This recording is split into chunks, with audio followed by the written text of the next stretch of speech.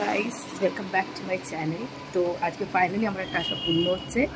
কি আশা পূর্ণ হচ্ছে সেটা আমিও বলব না।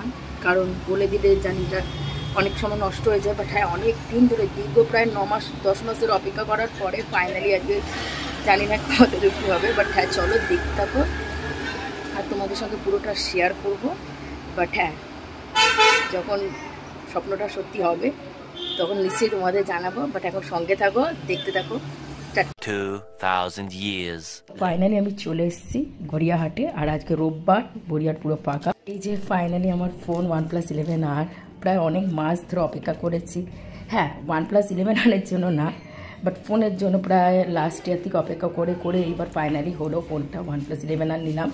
ওয়ান প্লাসে গেলাম, তার অনেক কারণ আছে বিকজ অনেক বছর ধরে ওপ্পো ইউজ করছি, তো এবার একটু চেঞ্জের দরকার ছিল and the phone is awesome guys the phone is awesome just awesome আমি তো দেখে পাগল হয়ে গেছি ফোনটা তো এই যে ফোনটা আবার চালু করল ফোনটা চালু করার পরে ফোনটা সব আমার পুরোনো ফোন থেকে সব ট্রান্সফার হলো দেন আমি ফোনটা ইউজ করছি অ্যান্ড ফোনটা জাস্ট অসাম মানে একটা না ফিল হয় যখন নতুন ফোন ওই বক্স দিকে খুলে আনবক্সিং করে তখন একটা আলাদা রকম ফিল আসে। তোমাদেরও কিরম হয় প্লিজ জানিও বাট ফোনটা দাদা শুরু করে দিয়েছি একটা সেলফি স্টোরি তুলেছি একটা সেলফি বাড়ি এসে তুলেছি তো প্লিজ কেমন লাগল প্লিজ কমেন্টে জানিও।